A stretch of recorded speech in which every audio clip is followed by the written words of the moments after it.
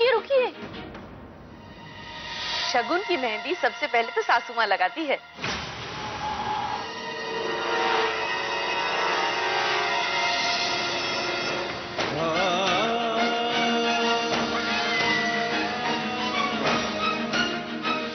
अल्लाह, ये तो बहुत चल रहा है। देखते हैं, कब तक बहादुरी का दिखावा करती हो सोया?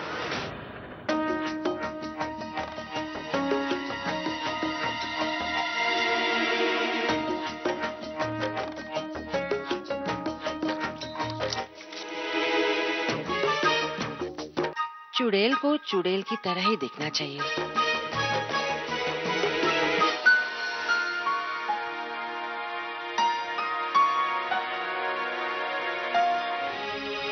रजिया को नीचे आने में इतना वक्त लगना चाहिए कि जब तक वो नीचे आए, हमारे लोग आ जाएँ और फिर हम अपनी चाल चल सके।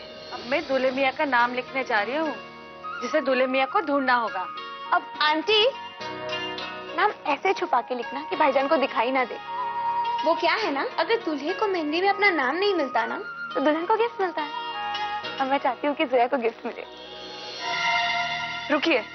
हमने कहा था ना जोया कि तुम खुद ये मेहंदी लगवाने से इनकार कर दोगी। मैं चाहती हूँ मेरे शौहर का नाम मेहंदी से मेरे हाथ पर तनवीर लिखे। बहुत ज़्यादा देर हो चुकी है। उफ, मैं तो अभी तक तैयार भी नहीं हुई हूँ। जी मेहमान भी आ गए। सबसे बड़ी बात उस बुढ़िया का कुछ भरोसा नहीं है। क्या पता क्या गड़बड़ करते हैं। ये विग इतनी बड़ी आफत है ना सारा वक्त लग जाता है इसमें।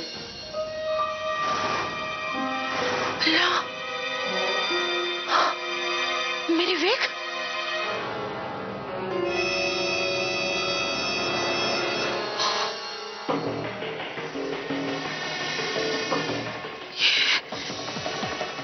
हो गया मेरी विग को। ये, ये किसने रंग दिया इसे? अल्लाह ये हो। ये।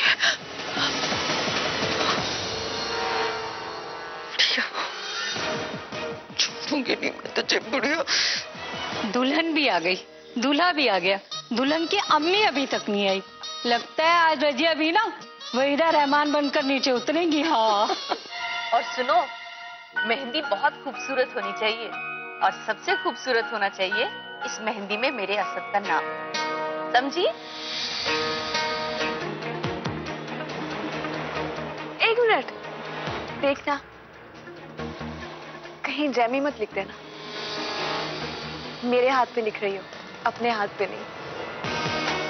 मैं तुम्हें बता नहीं सकती तनवीर। मुझे कितना अच्छा लग रहा है कि तुम खुद अपने हाथों से मेरे हाथों पे असद का नाम लिख रही हो। भी बिल्कुल सही कह रही है। पहले खाना खा लेते हैं बाद में रसम। चलो चल। हाँ खाना खाते हैं। बिल्कुल नहीं। सगाई की रस्म हाँ। पहले होगी। अम्मी ये क्या हरकत है?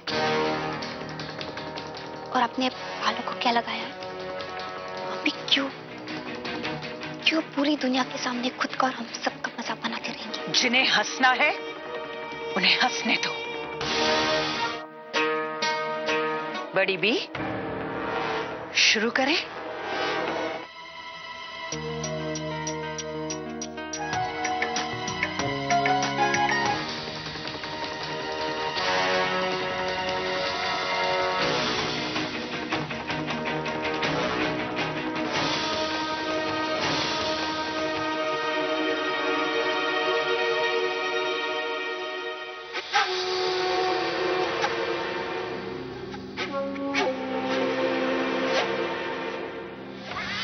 ये मेहंदी तुम्हें बहुत भारी पड़ेगी सोया।